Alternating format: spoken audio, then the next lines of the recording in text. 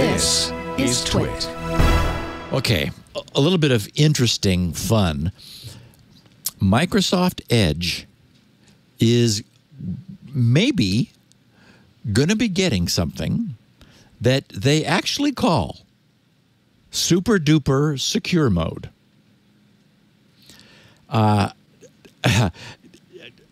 they realize full well they that call this it super duper secure mode. yes. It's hysterical. they are actually calling it super duper secure mode mode. If you google super duper secure mode you'll find microsoft. Uh, they're not calling it that because all the serious names were taken. They realize full well it's a humorous name and then they mentioned that you know if it ends up taking hold maybe we're going to have to call it something else. Maybe not. Who knows? Okay so here's the $64,000 question with Microsoft's experimental Edge browser super duper secure mode asks Would you be willing to sacrifice some web browser performance? Maybe, and maybe not, but maybe some, in return for potentially significantly greater security. Yes. That seems I- fair.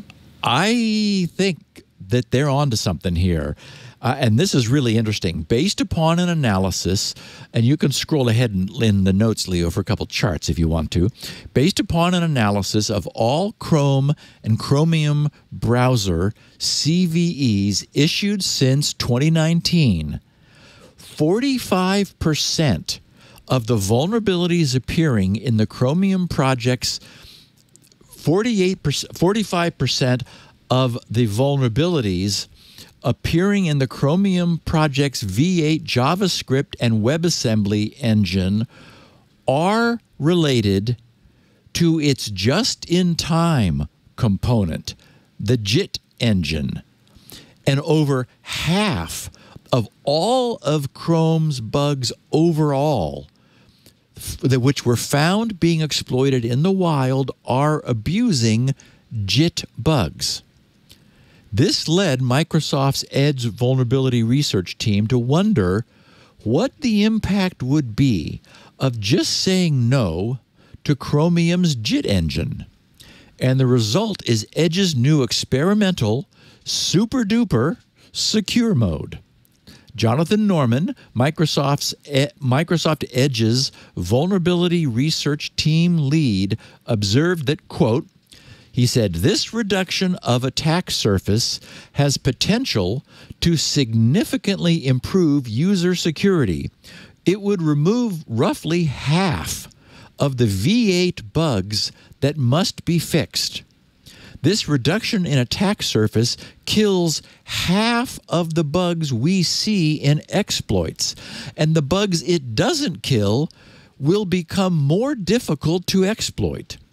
To put it another way, he said, we lower costs for users but increase costs for attackers. And Microsoft acknowledges that this challenges some conventional assumptions held by many in the browser community. Since the JIT engine is a just in time compiler implemented to optimize performance, the immediate question that arises is okay, so more security, but at what cost in performance? That's really the question, he said, for us to answer. Jonathan said that recent tests carried out by the Edge team have shown that despite its pivotal role in speeding up browsers in the early and mid 2010s, and that's the key, JIT no longer appears to be a crucial feature for Edge's performance. You know, it's much like the mistake Microsoft made of moving the the GUI down into the kernel, which is now causing nightmares for for performance. Although today, due to the fact that everything is GPU oriented, that does, does, doesn't need to still be there, but it is. It's really interesting. Google is constantly touting improvements in JavaScript performance in Chrome. Yep. I thought primarily due to JIT, but maybe not. Turns out not. JIT Interesting. is Interesting. insanely complex. Yeah, I can And- see and why it's a security problem for sure. Yes, it, that you, as we have all, how many times have we said complexity is the enemy of security? It turns out it's so complicated that there are very few people who actually know how it works. I mean, it is just, and I and in in the post in Microsoft's posting, I I forgot to put a link in the show notes. They have a block diagram, like a flow block diagram, and your eyes cross. It's like what? So. Um, I think this represents some very interesting out of the box thinking on Microsoft's part, and it makes sense. Our system's processors have become so much more capable over the past 10 to 15 years that it's reasonable to revisit the question whether our br- browsers, uh, which have grown so fast, due to the processor performance, uh, whether only an additional modest cost in performance uh, is would be there it is yes and that's TurboFan pipeline. And that's one of the processing pipelines and notice they had to fold it back on itself because it didn't fit on the page it, It's circular. ha- it, it, it reverses it reverses course at one point and goes in the other direction.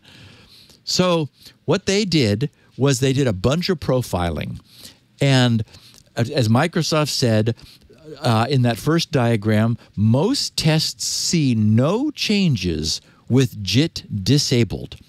There are a few improvements and a few regressions, but most tests remain the same because processor performance has gotten so good that it covers up the benefit that JIT used to make in 2010. And they said that I think it began in oh, 2008 was when it started. They said that anecdotally they found that users running with JIT disabled rarely noticed any difference in their daily browsing behavior or speed. So, uh, anyway, I just wanted to put this on on uh, the radar. It is you. There is a switch you can turn on to disable JIT in the in the pre-release versions of Edge right now. You know, daily, night, nightly, or whatever is in Canary and so forth. Uh, it's not available in the release. Uh, if it moves to release, I'll let everyone know because uh, I'm sure there are people who are like, "Hey, I'll try it, and if I don't see anything gets worse, uh, uh, turn it off." If it, you know, if it cuts in half the, the the problems that are being found, and it may be like like the workaround of the moment. If it turns out there's a flaw that's found with JIT on, uh, and it's bad, and Google hasn't patched it yet, but you can turn JIT off and it's like no longer a problem, then yeah, that's going to start, you know, really being a being a win for people. So anyway, I just thought that was you know e- extremely cool that they uh, they said, hey, you know, do we still need this? It turns out uh, maybe not.